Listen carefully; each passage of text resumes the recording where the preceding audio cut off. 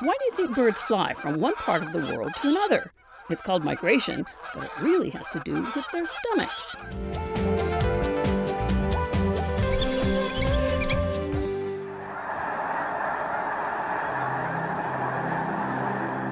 It's called migration.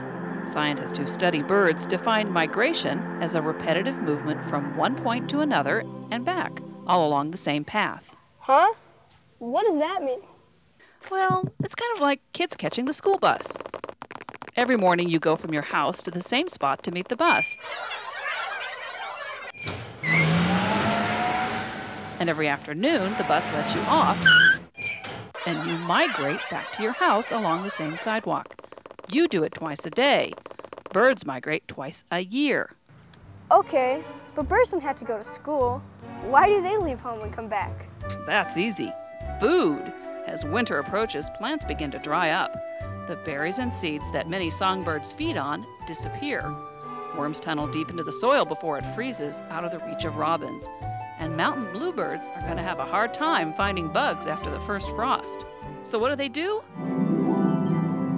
Migrate. It's time to head south to warmer areas where there's food all year round. So, if there's so much food down south, why do they come back home? The answer's the same food. The food is back. Birds know that their home territories will be green again. Berries, bugs, seeds, and worms, all the yummy foods that birds like to eat, will be fresh and plentiful in the spring. And when they fly back to their summer homes, they can spread out. They won't have to share with all the other birds that spent the winter in the south. When animals have to share, scientists call it competition. It's kind of like a kid with a candy bar. You might break it in half and share it with your brother, but you don't want to share it with the whole neighborhood. There might be nothing left for you and your brother. Nope. This is especially important when birds return home because spring is the nesting season. And the parent birds want to be sure to have enough food to feed themselves and their young. Okay, I understand why all those birds that eat bugs and berries have to go down south in the fall. But what about hawks and falcons? They don't eat those things. You're right, but birds of prey like falcons and hawks eat songbirds that eat the bugs and berries. It's all part of the web of life. And if your lunch is going south and you're a bird of prey, well, you better follow if you want to eat. How do you know all this? Research.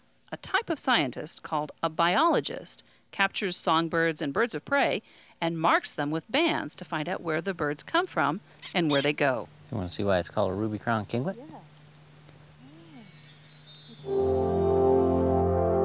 At the Idaho Bird Observatory near Boise, songbirds are captured in these nets, then banded, weighed, and measured before they're released, often with the help of school kids. All right, I'm gonna let go now.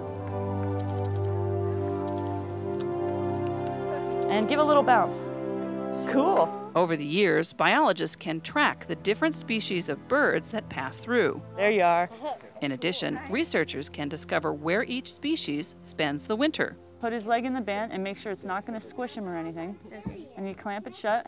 Whenever you want her to go, give her a bounce and blow on her little butt. I don't know. There you go. Cool.